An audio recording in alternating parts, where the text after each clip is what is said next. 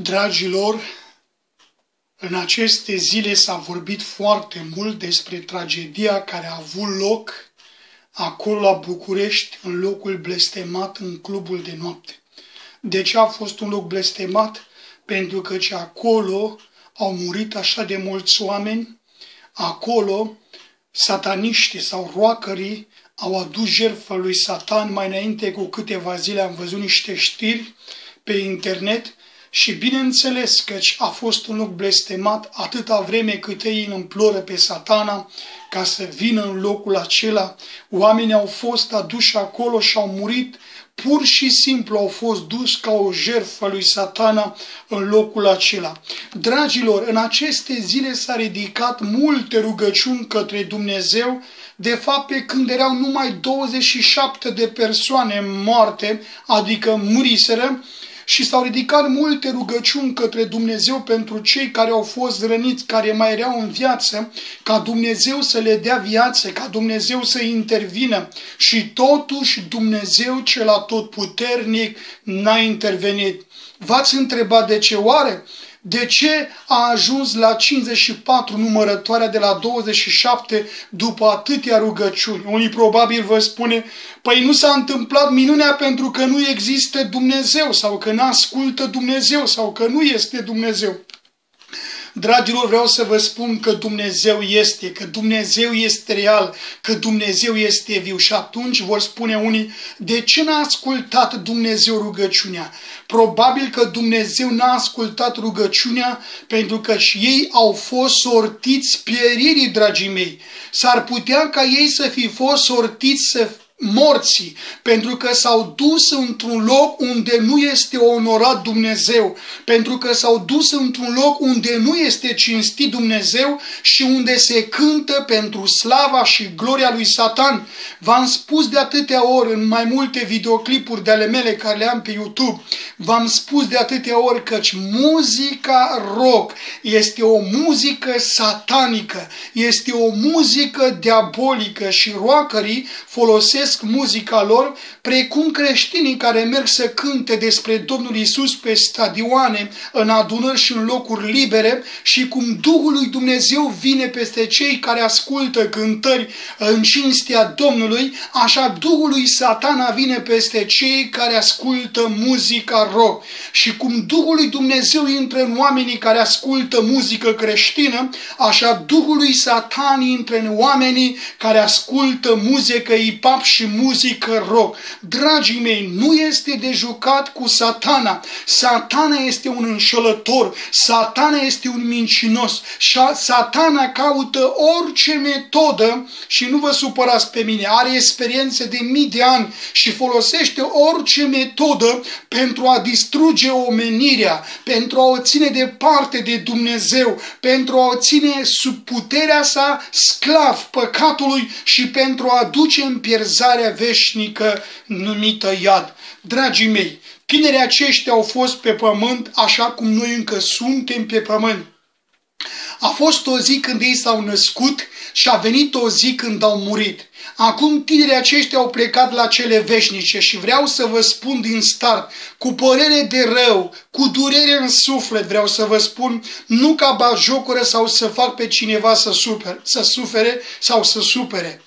Tinerii aceștia care nu l-au acceptat pe Iisus Hristos ca Domn și ca Mântuitor, acești tineri sunt pierduți, dragii mei. Acești tineri se află acum în flăcările iadului. Poate vei spune, de ce vorbești, băi, omule, așa? Nu ți rușine? Dragii mei, vreți să spun minciuni? Eu vă vorbesc din această carte. Vă spun adevărul pentru că cei care sunt în viață să nu mai facă și ei greșeala pe care au făcut-o acești tineri. Și care a fost greșeala acestor tineri? În primul rând, eu cred că în timpul vieții lor tinerii aceștia au auzit de Dumnezeu. Prin internet, prin televiziune, de la gură la gură.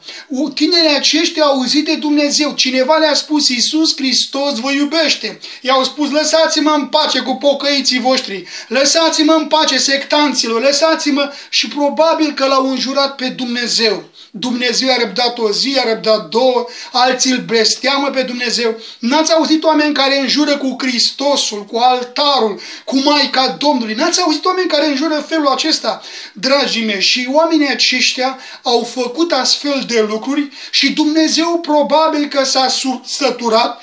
Biblia spune că Dumnezeu nu vrea moartea păcătosului. Dar Biblia mai spune că Dumnezeu nu se lasă bajocorit. Astăzi, dacă auzi glasul lui, zice Biblia, nu-ți împietri inima, mâine s-ar putea să fie prea târziu să te întorci la Dumnezeu. Dacă astăzi auzi glasul lui Dumnezeu, împacă-te cu Dumnezeu, că mâine s-ar Mâine s-ar putea să fie prea târziu pentru tine, pentru că nimeni nu știe ceasul, ziua și luna când va fi chemat din această lume în lumea de dincolo. Așa cum tinerii aceștia n-au știut că și în ziua în care ei se duc la club vor muri și nu se vor mai întoarce vii în casele lor. Dragii mei, Biblia ne spune foarte clar, cuvântul lui Dumnezeu ne spune foarte clar, cine are pe Fiul lui Dumnezeu are viața, cine n-are pe Fiul lui Dumnezeu n-are viața. Și toți acei care nu-L acceptă pe Iisus Hristos ca Domn, ca Mântuitor și Stăpân al vieților, în lumea de dincolo ei sunt suflete pierdute. Poate să se facă pomeni și parastase cât de multe și slujbe în numele lor. Dumnezeu nu mai bagă, dragul meu, în cer pe cineva care în lumea aceasta în care trăim n-a fost iertat de Dumnezeu. Dacă tu în lumea aceasta în care ești nu vii la Dumnezeu să-ți recunoști păcatele, să te pocăiești de păcatele tale și să-și ceri iertare lui Dumnezeu, atunci de ce ai pretenție ca în lumea de dincolo să ajungi printre cei sfinți când tu aici în lumea aceasta îl înjuri pe Dumnezeu, îl bajocorești pe Dumnezeu, cauți plăcerile trupului tău, cauți să faci totdeauna ce este pentru tine plăcut, dar nu ce-i place lui Dumnezeu. Mântuitorul Iisus Hristos a spus, nu ori și cine îmi zice, Doamne, Doamne, va intra în părăția cerurilor și numai cel care face voia Tatălui meu care este în ceruri. În cer nimic întinat și spurcat nu va intra acolo. Nimeni care trăiește în spurcăciune și în minciună, dragul meu, nu te lăsa amăgit și nu te lăsa înșelat, adică trăindu-ți viața așa cum îți place ție, făcându-ți de cap în fiecare zi a vieții tale și apoi crezând că dacă popa la, vine la capul tău când tu ești în sicriu, Dumnezeu te primește în rai. E o amăgire, dragii mei. Dacă tu în această viață trăiești de capul tău, minți, furi, înjuri, blestem, curvești și faci toate păcatele pe care Dumnezeu spune să nu le faci, tu nu mergi în rai, omule, te duci în iad. De aceea Biblia spune pocăiți-vă și întorceți-vă la Dumnezeu pentru ca să vi se șteargă păcatele. Problema este acum, în urma celor întâmplate, oamenii care au rămas în oamenii care au rămas în viață, fac ei ceva acum ca viața lor să nu fie asemănătoare ca celor care au pierit?